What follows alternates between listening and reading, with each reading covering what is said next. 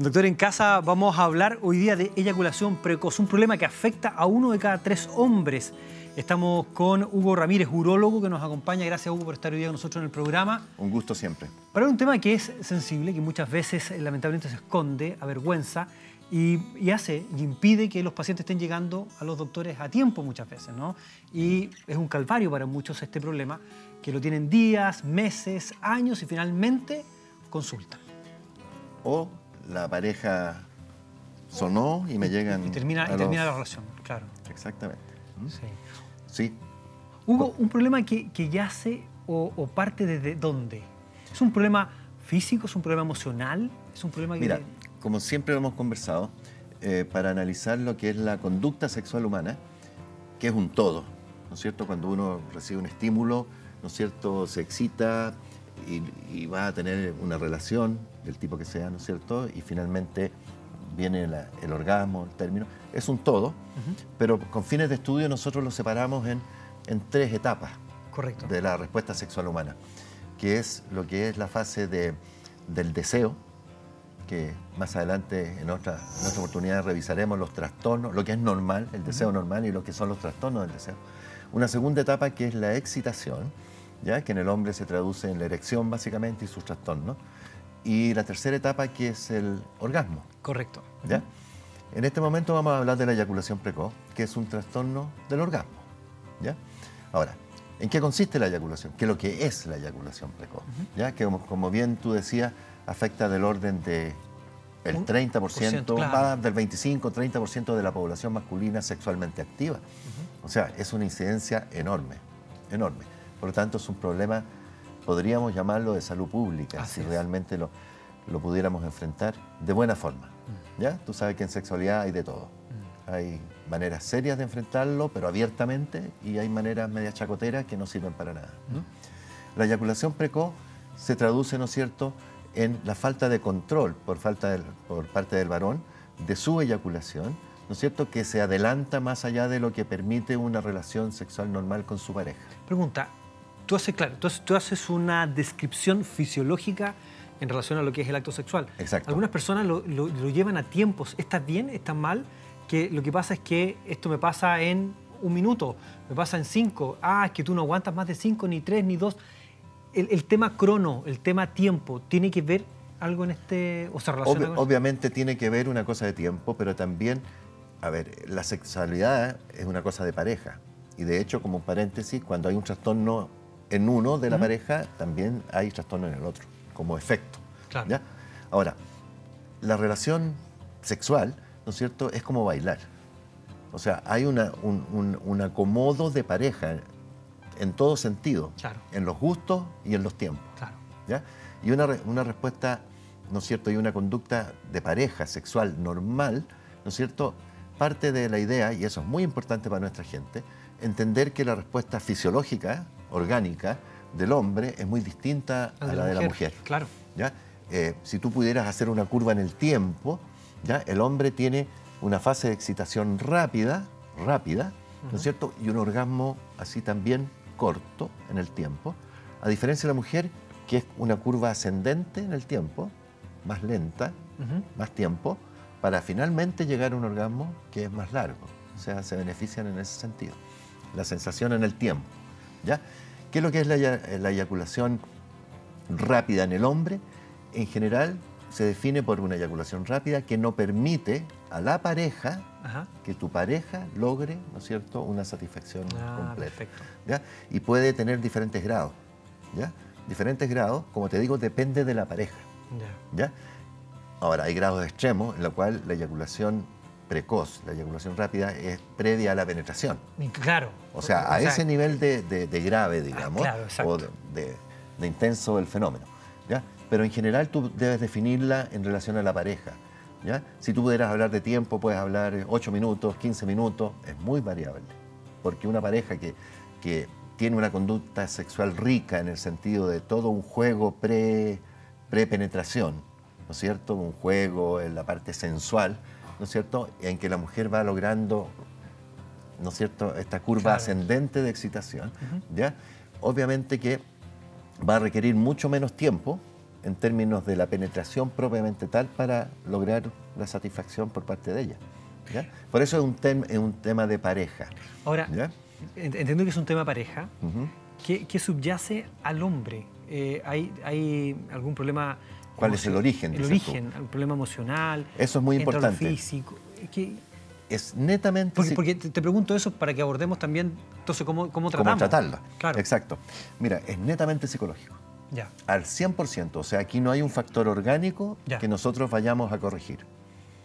¿Sabes por qué? Porque quiero hacer el símil al, mismo tiempo, que, estoy seguro lo vamos a hablar en algún momento, digamos, de em, la impotencia la difusión eréctil. Correcto. Que sí sabemos que en la difusión eréctil hay un tema cardiovascular, hay un tema de salud física, que también es emocional, pero que también hay un, hay un sustrato orgánico. Es muy distinto. Es muy distinto. En este caso, claramente, y tú lo dices tajantemente. Tajantemente eh, psicógeno, psicológico. Claro. ¿ya? Que tiene que ver el estrés, que tiene la tensión o cuadros un poquito más serios desde el punto de vista psicológico.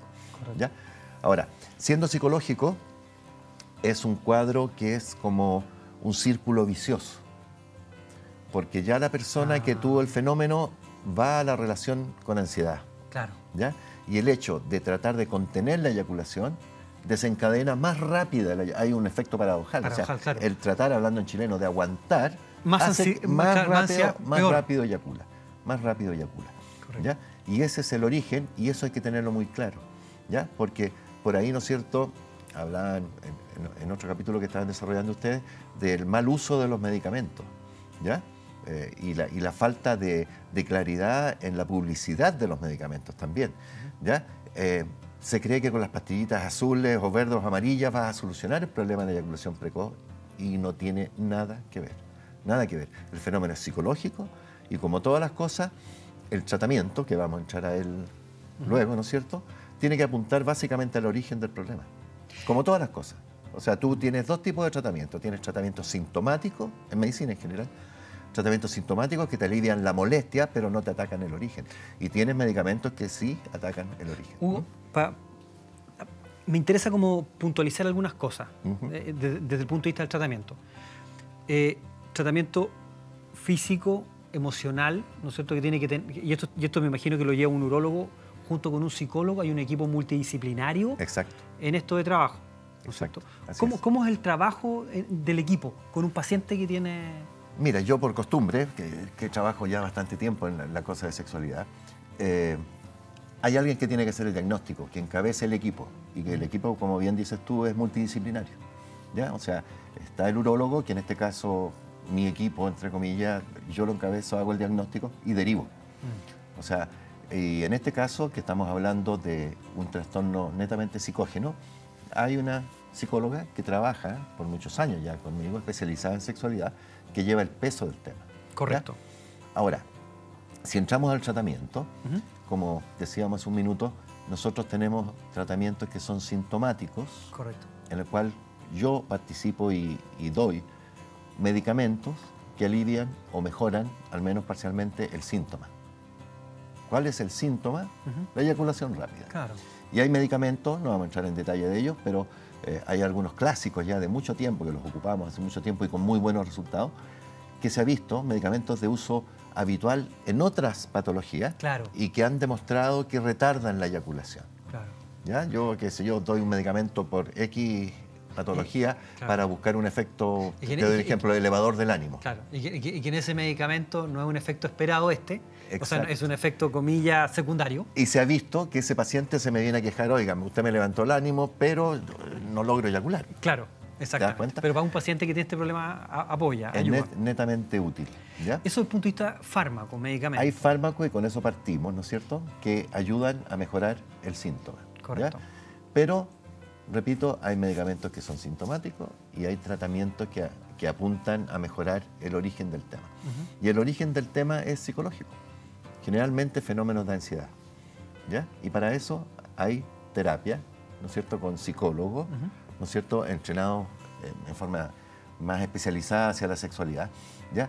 Con técnicas, en la psicología todavía existen escuelas, ya no está tan unificada la cosa, y a nosotros nos ha dado muy buenos resultados de años ya, todo lo que son las técnicas conductistas. Correcto. ¿ya? Que apuntan básicamente a corregir el fenómeno que uno quiere. O sea, ¿sabes qué? Yo quiero que me mejores el dolor de cabeza y, me, y se va, todos los ejercicios y toda la terapia va focalizada a mejorar el dolor de cabeza. Ahora, si además tú quieres conversar sobre tu, tu experiencia con tu abuelita y qué sé yo, todo lo de atrás, tu biografía, etcétera, obviamente lo puedes hacer.